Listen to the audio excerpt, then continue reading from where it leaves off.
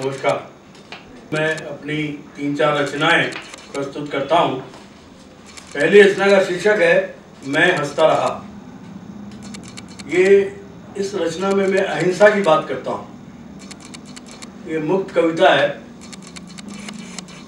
शीर्षक है, मैं हंसता रहा। उसने मुझे गाली दी, मैं हंसा और ज़ोर से हंसा। उसने मुझे पागल कहा, मैं हंसता रहा। उसने मुझे बेवकूफ़ मूर्ख कहा। मैं लगातार हंसता रहा। उसने मुझ पर हाथ से, हथियार से हमला करना चाहा। मैं दोनों हाथ जोड़कर उसके सामने सीना तान कर खड़ा रहा। मैंने देखा, अंत में वह अपने पाँव पटकते हुए वहाँ से हार कर चला गया और मैं हंसता रहा अपनी जीत पर। दूसरी कविता जिसका शीर्षक है निष्काम कर्म।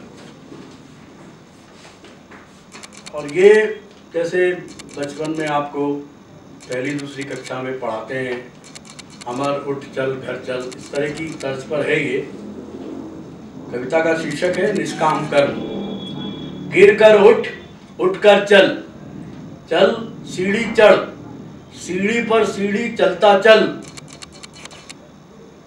खड़ा हो अडिक तान कर सीना, कर मुकाबला, हवा, पानी, आग का।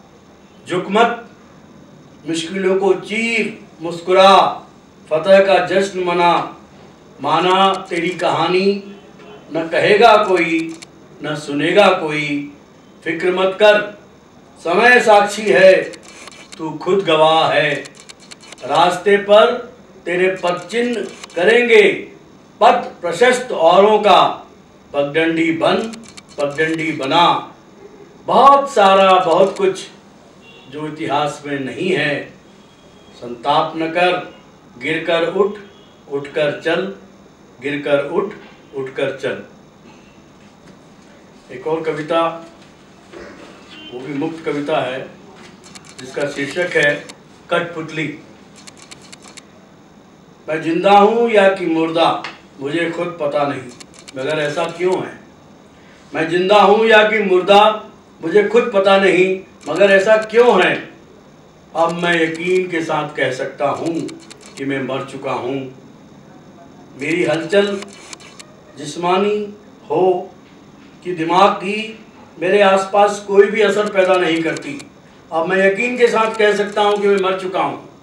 मेरी हलचल जिस्मानी हो कि दिमागी मेरे आसपास कोई भी असर पैदा नहीं करती, यही मेरे मुर्दा होने का मुकम्मल सबूत है। ये और बात है कि अंदरूनी तौर पर मेरे जिस्म में कई तरह की हरकतें हो रही हैं। ये और बात है, अंदरूनी तौर पर मेरे जिस्म में कई तरह की हरकतें हो रही हैं। जैसा मेरा दिल धड़कता है, रगों में रहू, लहू दौड़ता है, हाथ पैरों में उंगलियों में हरकत है, मगर मेरी आवाज़ गायब है। मैं बस हूँ एक कठपुतली के मानींद तो बस हूँ मैं, जिसका होना न होना बराबर है। मगर ऐसा क्यों? क्या मैं किसी फासिस्टवादी, उपनिवेशवादी या कि सांप्रदायिक ताकतों के षड्यंत्र का शिकार हूँ? कुछ तो गड़बड़ ज़रूर है और बहुत बड़ी गड़बड़ है। कुछ तो गड़बड़ ज़रूर है और बहुत बड़ी गड़बड़ है। वरना मैं इंसान की औलाद होकर इतना अपाहिज, मजलूम और लाचार क्यों हूँ? कुछ तो गड़बड़ ज़रूर है और बहुत बड़ी गड़बड़ है। वरना मैं इंसान की औलाद होकर इतना अपाहिज, मजलूम और लाचार क्यों हूँ?